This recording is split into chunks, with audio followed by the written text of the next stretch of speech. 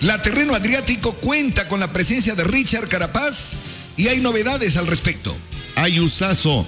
En la Tirreno Adriático así tituló uno de los principales portales de ciclismo el día de ayer, después de que Juan Ayuso exigió, obviamente, o se exigió para hacer una contrarreloj descomunal que le dio la oportunidad de ser el eh, líder hasta el momento y cosechó precisamente eh, para ponerse este jersey que la Tirreno Adriático le entrega al mejor por el momento, ¿no? En esta primera. Juan Ayuso está exigiendo su sitio en la élite del ciclismo mundial. El ciclista de Javea ha completado una crono, como usted lo dijo, descomunal.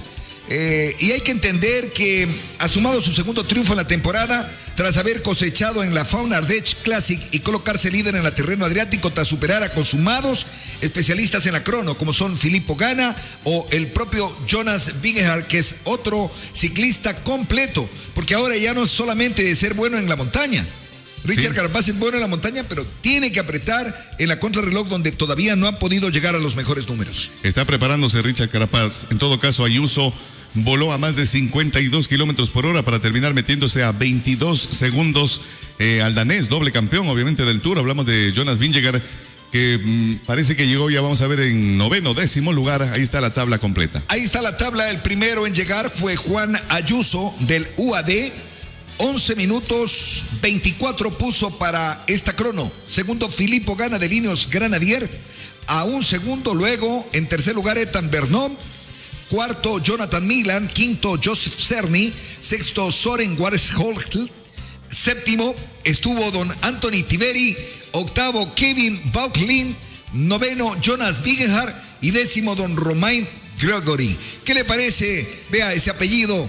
No sé si usted lo puede repetir, el número 6, don Pedro Castro A ver, Mendoza. es Soren eh, Waren es Gold.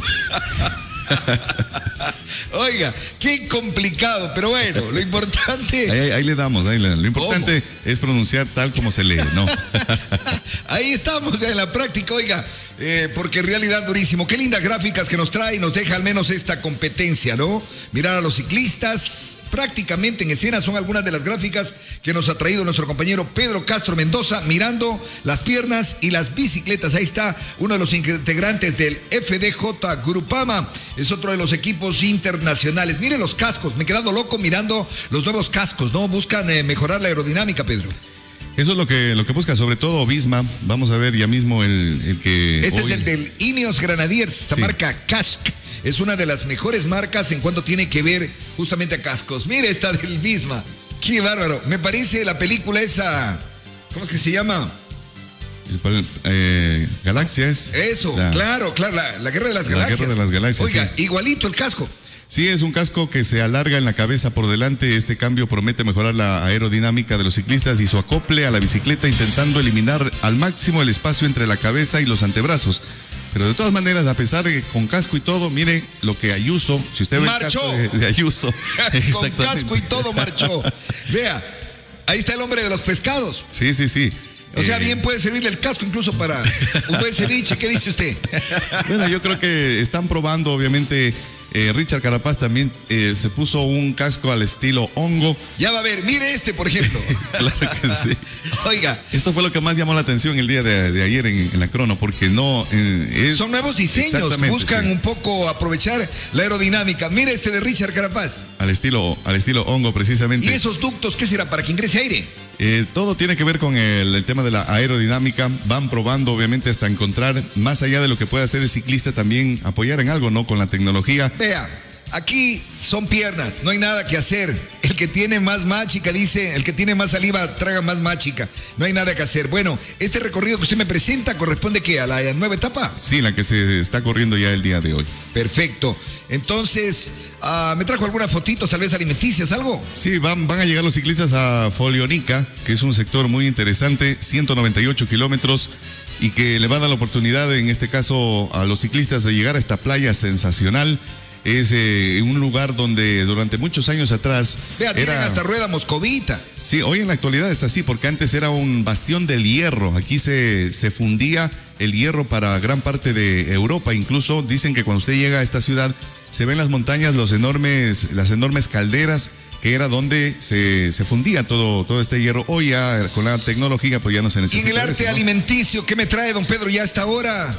Bueno, 8.30 ya da hambre hoy. A usted si le gusta la carne, no sé si alguna vez ha probado un filete de 6 centímetros. Qué bestialidad. Tiene que ser asado muy lento, Eso. indudablemente, para que se cocine, porque esta la veo media crudona, oiga. Bueno, el estilo así es allá, así que si usted quiere un poquito más este selladito, va a decir, va a tener que pedirle que le pongan por lo menos una media horita más, porque usted sabe que allá las carnes, el- lo que es el jamón, lo- el tocino, todo esto, pues eh, muchas veces es un poco crudito, ¿no? En todo caso, 6 No, no, centímetros. dicen que el sabor está así, pero bueno, ya es cuestión de gusto. A mí me gusta tres cuartos, me gusta. No, no, no me gusta eh, ese corte al estilo blue. Así le llaman, es cuando Ya. está sangrando. Entonces, no, no, no. Vea, y esto está rico. ¿Qué son? Cebollines. Eh, sí, este eh, realmente es un plato interesante con cebolla y dentro de él, pues, eh, digamos, eh, rellenas con pan, grano, perejil y una salsa que es llamada amitracina, que tiene salsa de tomate y lleva pedazos de la papada del cerdo. No sé si usted ha probado Ya. alguna vez la, la papada La del cerdo. papada del cerdo. Bueno, debo haber comido. pues, ¿Qué me habrán metido en. En Hornado toda Cinco? Delicias. No, no, pues ahí es cosa seria. Permítame enviarle un saludito, pues, a nuestra buena amiguita. Doña Olinda. Oiga, ¿se ha ido usted a probar los hornados últimamente Claro o que no? sí. ¿Se le ha invitado o no le ha invitado? Eh, bueno, de forma individual hemos ido pues a disfrutar de... Es que no se puede dejar de saborear pues ese... Oiga, yo siempre que voy me dice licenciado.